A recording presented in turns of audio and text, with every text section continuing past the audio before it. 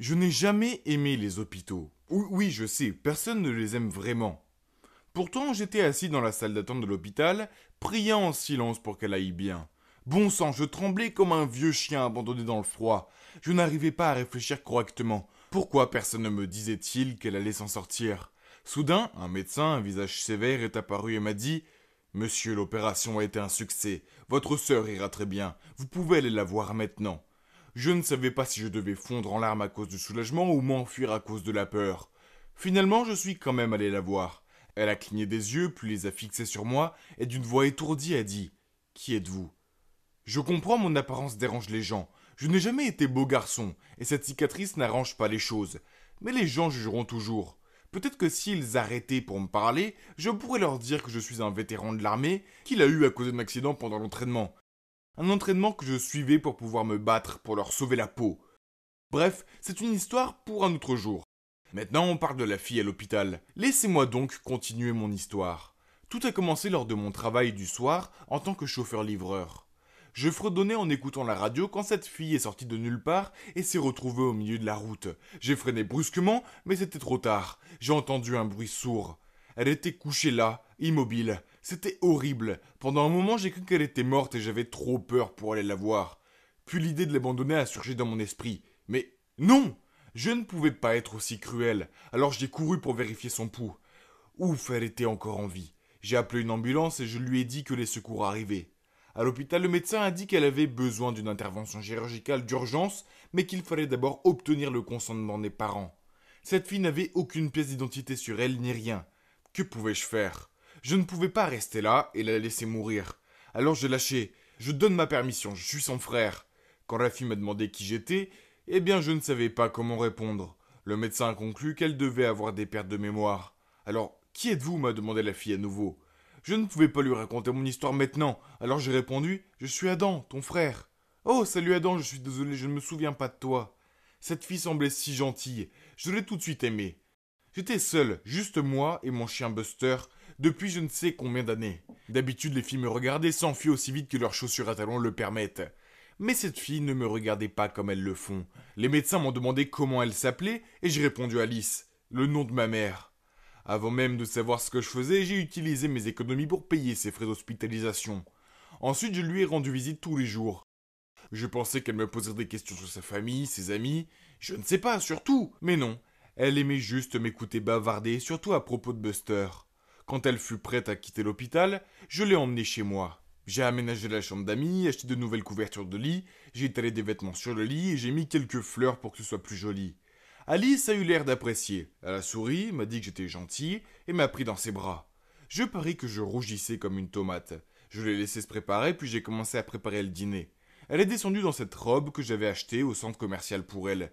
Et oh mon dieu, on dirait un tableau. Je lui ai prétexté d'aller lui chercher un verre pour qu'elle ne voie pas à quel point j'étais troublé.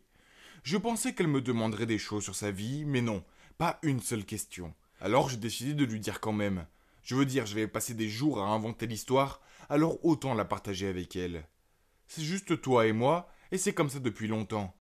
Nos parents sont décédés il y a quelques années maintenant. Notre mère s'appelait Alice aussi. Oh, c'est un joli prénom, a-t-elle murmuré. Est-ce que je lui ressemble? Euh oui, tu as ses cheveux. Je lui ai raconté d'autres choses, comme le fait qu'elle venait de rompre avec son petit ami, et qu'elle était entre deux maisons en ce moment. Je sais que ça semble fou, mais c'est comme si elle absorbait ces mots et elle en retirait un certain réconfort. Le lendemain, les choses ont changé et Alice a commencé à faire des choses bizarres. Je suis descendu de bonne heure pour découvrir qu'elle avait vidé tous les placards de la cuisine et qu'elle les nettoyait. Quand je lui ai demandé ce qu'elle faisait, elle m'a ignoré et a continué. Comme si elle était dans sa propre bulle et ne m'entendait pas du tout. Je me suis dit que c'était probablement sa façon elle de s'adapter à tout. Mais son comportement étrange a continué. Quand un livreur a frappé à la porte, elle a sauté derrière le canapé. Après, je lui ai demandé ce qui se passait. Mais elle a dit qu'elle cherchait juste sa boucle d'oreille perdue. Une autre fois, j'attendais que mon émission préférée commence et nous étions tous les deux en train de discuter sur le canapé. Mais elle a soudainement pris la télécommande de la télévision, l'a éteinte, puis elle est sortie de la pièce avec la télécommande. C'était normal, n'est-ce pas? Elle avait traversé beaucoup d'épreuves. Peut-être que c'était une étape de son rétablissement. La plupart du temps, elle était une si douce et adorable. Elle me préparait toujours des encas à emporter au travail, et elle s'occupait tellement de Buster. D'accord, elle faisait toujours son rituel de nettoyage des placards tous les matins. Mais bon, nous avons tous nos bizarreries. Avoir une autre bouche à nourrir signifiait que je devais travailler plus d'heures. Mais cela ne me dérangeait pas. Pour une fois, je me sentais utile. Elle m'a aidé à trouver une raison de vivre à nouveau, au lieu d'exister sans but. Je lui apportais souvent des friandises à la maison, comme des biscuits ou de la pizza hawaïenne, ses préférés. Si je travaillais de nuit, elle m'attendait toujours. Je me sentais tellement bien quand j'arrivais à la maison que je la voyais assise avec Buster. Je n'avais plus d'argent à la fin de chaque mois, mais j'avais quelque chose de plus, j'avais le bonheur. J'aimais cette fille, je l'aimais plus que tout, mais je ne pouvais pas le lui dire, car elle pensait que j'étais son frère. Je savais que je devrais lui dire la vérité, mais je ne savais pas comment m'y prendre. Un matin, quand elle a fini de nettoyer les placards et que nous prenions le petit déjeuner, je lui ai parlé du travail que j'avais à faire. Livrer un colis à Sherry Hill Street. Elle a écarquillé les yeux, puis m'a dit qu'elle voulait venir aussi. C'était surprenant car elle m'avait montré aucun intérêt à quitter la maison auparavant.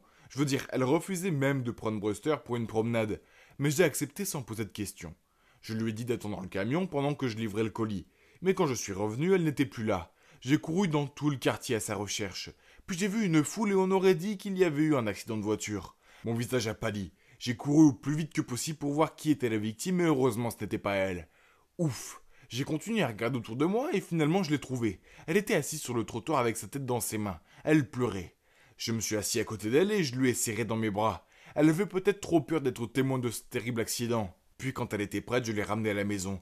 Le lendemain matin, je suis descendu en m'attendant à la voir nettoyer les placards, mais elle n'était pas là. Je lui ai préparé des toasts et un café et je les ai montés dans sa chambre. Elle a ouvert la porte, m'a regardé fixement, puis a dit Je me souviens de tout. Je sais que tu n'es pas mon frère. Alice, je suis vraiment désolé, je. Euh, je voulais juste t'aider. Elle m'a crié dessus. Je ne m'appelle pas Alice. Puis elle est passée devant moi en trombe. Je me suis précipité derrière elle et j'ai entendu la porte se refermer. Elle était partie. Alors c'était tout. J'étais de retour à ma vie solitaire et triste. Chaque jour avec le travail, je rentrais à la maison et je ne voyais personne qui m'attendait. Pas de repas chaud, pas de rire, rien qu'une maison vide et ennuyeuse. Trois mois ont passé et un jour je livrais des cartons à ce riche propriétaire de magasin. Les cartons étaient très lourds et l'un d'entre eux est tombé dans mes bras et a chuté le sol. Le propriétaire du magasin a commencé à me crier dessus. Espèce d'idiot, je ne te paye pas pour être négligent. Mais qu'est-ce que je peux espérer? Tu n'es même pas capable de t'occuper de ton propre visage. Je n'ai rien dit. Au contraire, j'ai regardé mes pieds, puis j'ai entendu des pas. J'ai levé les yeux et elle était là. C'était Alice. Oh non, je ne voulais pas qu'elle me voie me faire mépriser comme ça. Soudain, elle a crié. Hé, ce n'est pas parce que tu as de l'argent que tu peux dire n'importe quoi aux autres. Excuse-toi auprès de lui, ou je ne te lâcherai pas.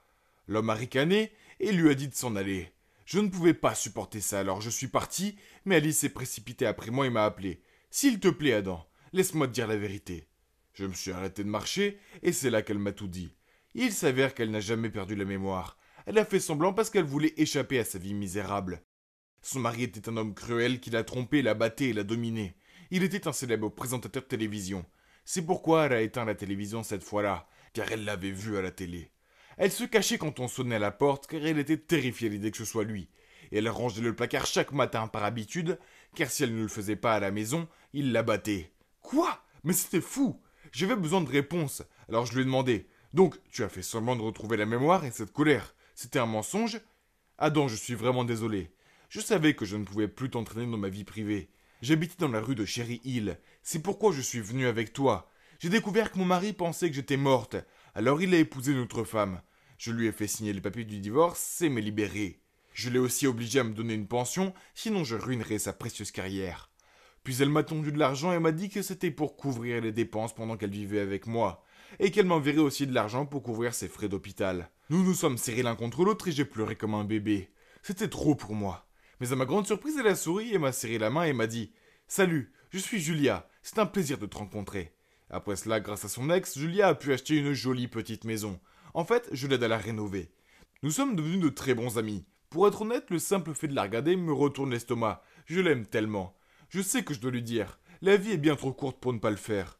Si elle dit non, eh bien, au moins j'aurai toujours son amitié, n'est-ce pas? Je n'ai peut-être pas l'air d'un mannequin, mais je suis une bonne personne. Julia m'a appris à le réaliser. J'espère qu'elle dira oui, mais advienne que pourra. Souhaitez-moi bonne chance.